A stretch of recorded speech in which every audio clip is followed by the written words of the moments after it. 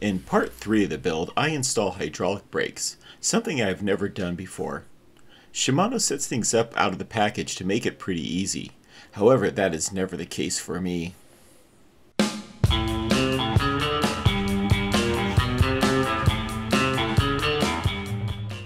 To stop this beast of a bike, I got the Shimano SLX 4-piston brakes. The brakes are the J-kit version, which means the brake lever is disconnected and the brakes are pre-bled for an easy install. The frame is set up to work with a 180mm rear rotor, so I will need an adapter for the 203s I picked up for the wheels. I had difficulty finding the right adapter, but I did some research and found out that this adapter should work for the rear brake.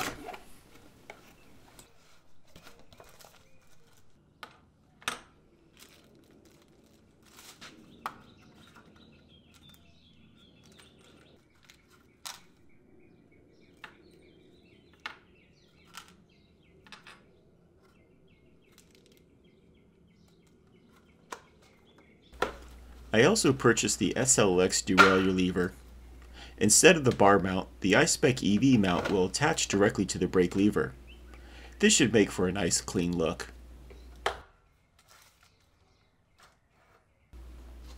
The rear derailleur is the SLX M7100 and should easily manage the wide range 10 to 51 12 speed cassette. It features their latest Hyperglide Plus and Shadow RD Plus systems for smooth, quiet, and stable shifts. It looks quite slick even though it isn't the XT version.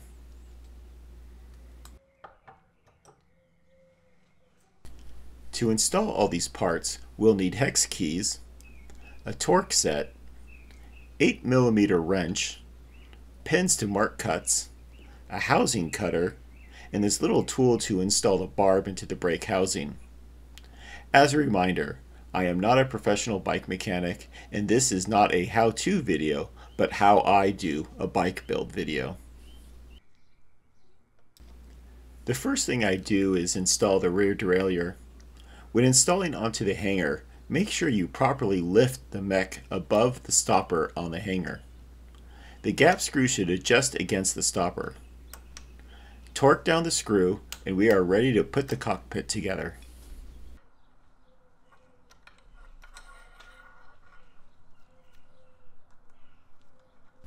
To install the front brake, I first put on the brake lever.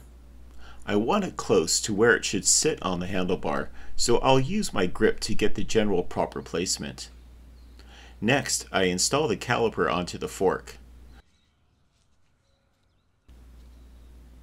The RockShox Zeb is set to work with 200mm rotors.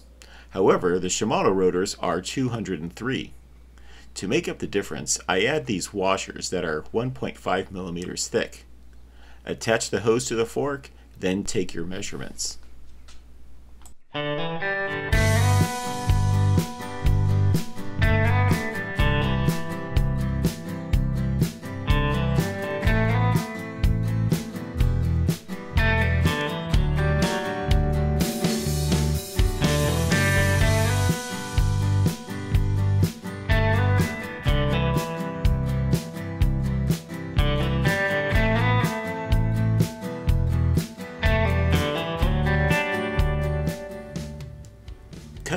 Hose on the mark and install the barb. So far so good. The instructions from Shimano tell you to mark 18 millimeters back from the cut line to make sure that the hose is inserted properly. This did not work for me. I inserted the hose and it just wouldn't go in all the way.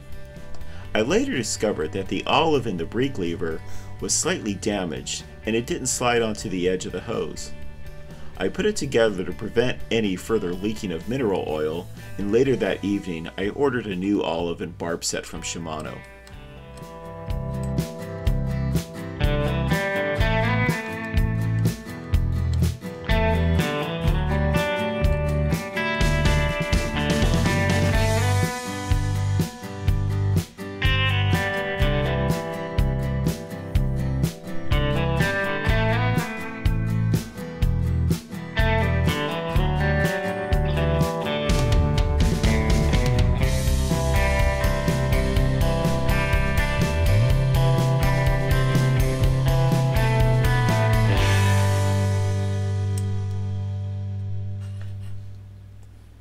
Installing the rear brake went much smoother. Like the front brake lever, I used the grip to determine the best position. Since I have the iSpec EV shifter lever, it attaches to the brake lever via an adapter that is inserted onto the clamp. It allows you to adjust the lever up and down and left and right to get that perfect position.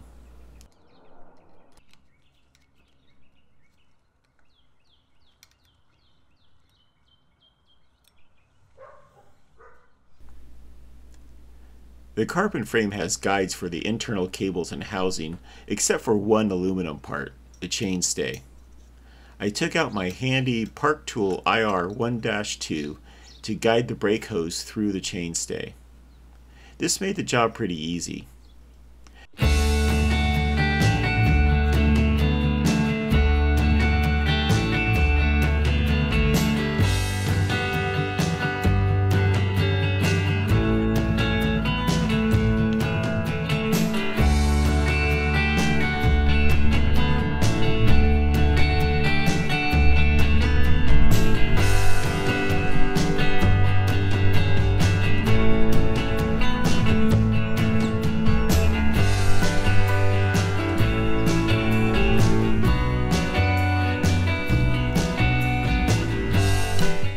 Next I push the cable through the bottom guide and it pops out next to the head tube.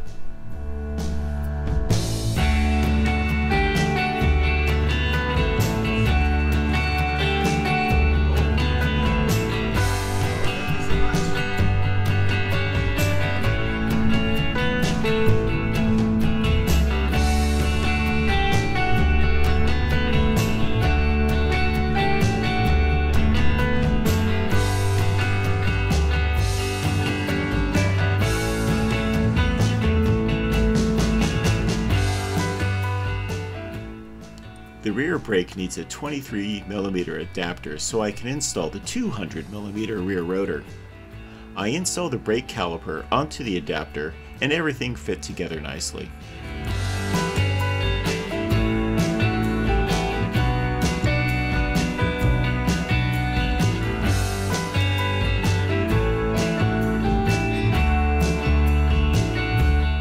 I loosened up the banjo to point the brake housing up a little for a nice rounded curve, then attach the housing to the frame mount with the zip tie.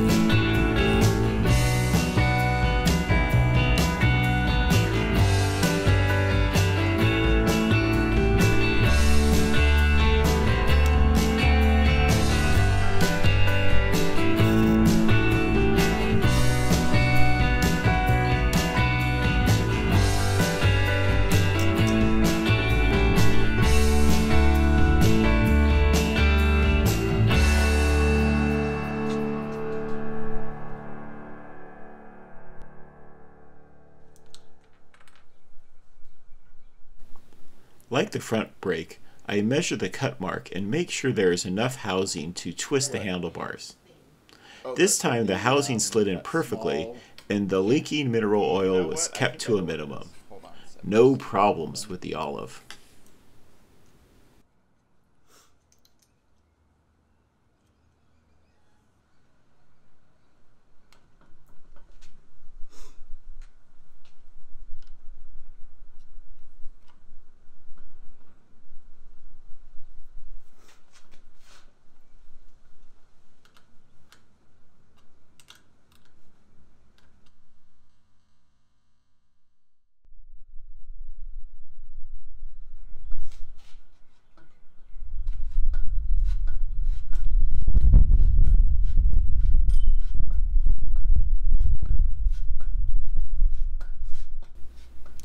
Next I slide in the derailleur cable housing.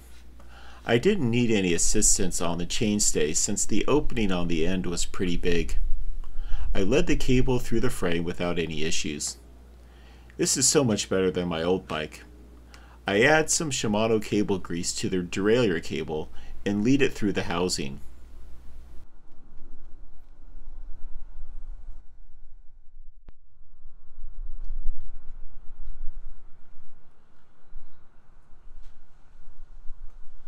Install the grips and I am done for the day.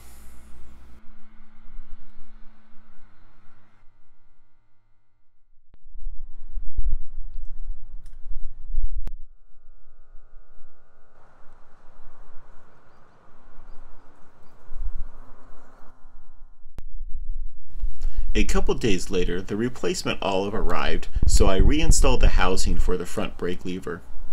This time I just cut the housing, added the olive to the housing, added the barb, then installed everything onto the lever. Clean it up, and we are good to go.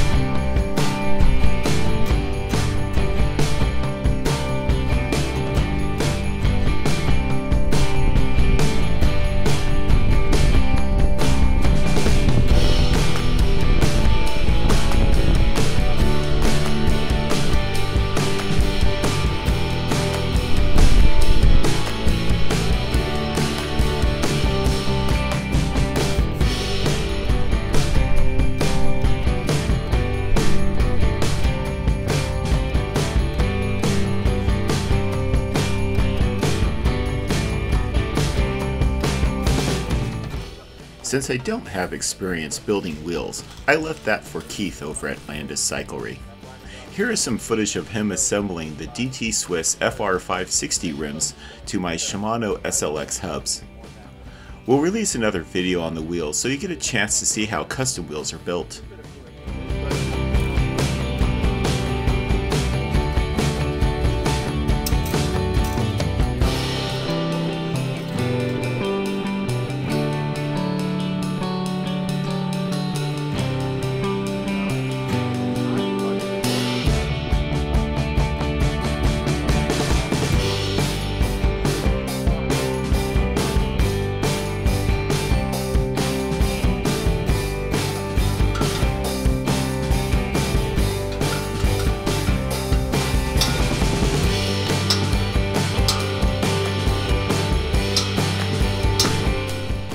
Wheels will include the Shimano SLX 203mm ice rotors. I have been using ice rotors for years and have never had a problem. The 12-speed cassette is compatible with the Microspline free hub and has a cog range from 51 to 10. I also purchased rim tape and a tubeless valve set from Orange Seal. The tires are my favorites, the Maxxis DHR Minion 2 and the DHF. I got them with these trendy tan sidewalls.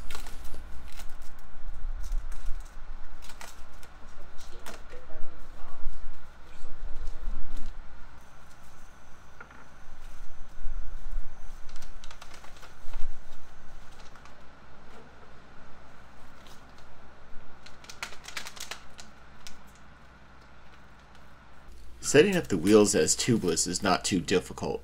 First you tape up the rim, insert the valve, and tighten the nut.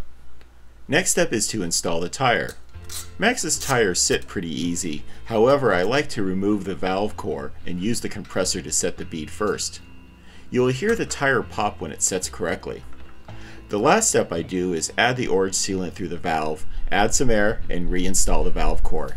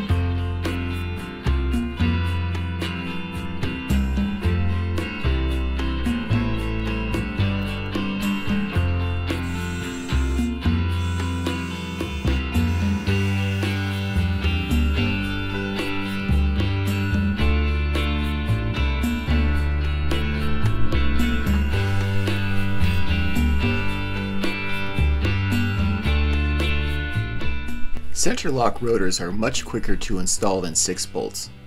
Just slide on the rotor and hand tighten down the locking nut.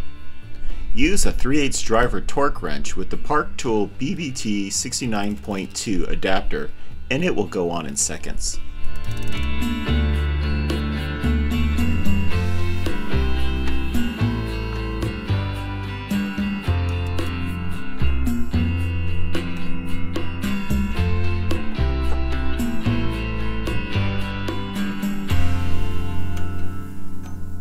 The SLX cassette comes with a plastic adapter to make it easy to install in a single piece. It comes with a tab that aligns to the top of the microspline free hub. The cassette should just plop into place. Tighten down the cassette with the handy Park Tool FR5 cassette lock ring tool and an adjustable spanner.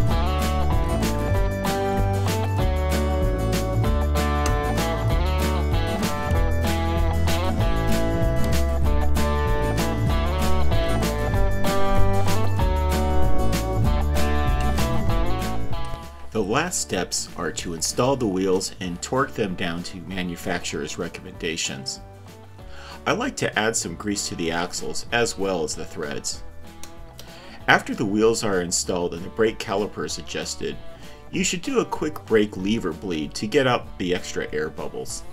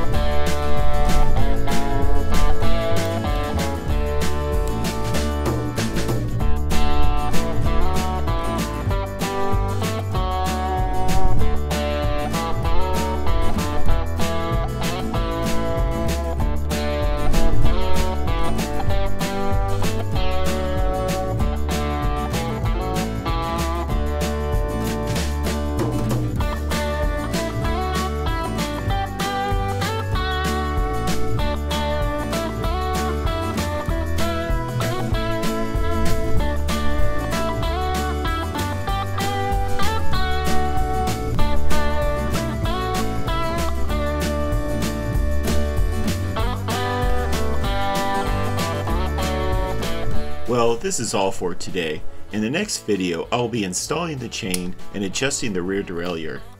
The bike should be rideable once the dropper post saddle and pedals are installed. Thanks for watching. Please be sure to like and subscribe and hit the bell to be notified when the next video is released.